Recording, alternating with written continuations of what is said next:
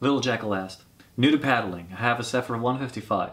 Are there any recommended on-water exercises to help a newbie become more comfortable with a boat's perceived tippiness? I am constantly micro-adjusting my balance, which is very tiring. Suspect I don't understand the edge limits yet. Uh, Zephyr 155, awesome boat. That's exactly the same one I had when I got into sea kayaking and I loved it. Ultimately, seat time is going to be your best friend here. Uh, days, weeks, months. All of a sudden, you're going to look back and realize, I can't believe it used to feel tippy to me. It feels amazing now. Another thing you could do, uh, a friend of mine that's also a fellow paddler and instructor, uh, she's a personal trainer and she does exercises on a stability ball. Uh, she gets weights and then does motions very similar to paddling on a stability ball and sometimes she'll even use uh, another ball to put her feet up on it and then she will do exercises that way and not only does it strengthen her core and uh, work those muscles but it also works on um, balancing which could be very helpful for you in your kayak let's talk about tippiness there's two types of stability uh, by which kayaks are usually uh, rated or thought about. Primary and secondary. Primary is how stable the kayak feels when you sit in it without moving.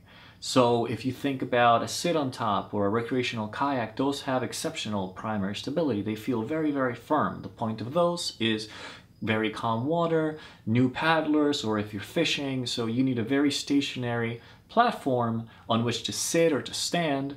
That's where those kayaks are best suited. Secondary stability is that point in which, for example, in sea kayaks, when you put it on edge, it'll hold you way out there before actually going in the water.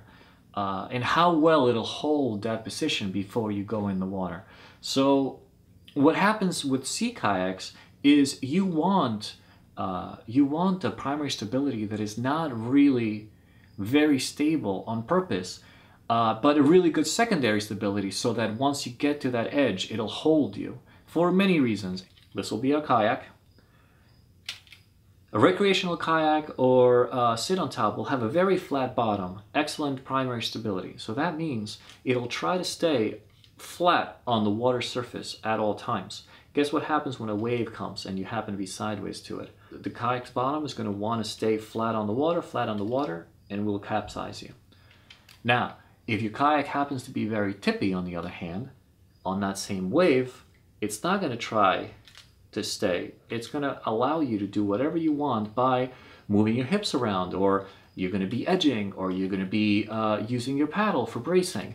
All of a sudden, that wave is not going to be dictating where that uh, kayak is going to go as much. So, a tippy kayak is going to do great in chop, it's going to do great in confused water, it's going to do great in surf. This is a very big misconception because sometimes paddlers that have only paddled recreational kayaks or kayaks with very good at primary stability will feel very confident in their kayak's ability to remain upright and will think they can take on anything. But because of their ability to stay upright and feel very sturdy, in chop, in waves, they will perform terribly and they will capsize. So as always, I hope that was helpful. Uh, these are not perfect answers. These are just things and tips that I picked up from other fellow paddlers, for, from other instructors that have worked for me and maybe they can help you. Uh, subscribe if you'd like. I'm always trying to put these videos out. If you have any new topics, please drop me a line or reach out on my Instagram account. That's uh, where I usually ask for new topics. If you'd like to discuss any of these further, drop me a line or comment below. See you next time.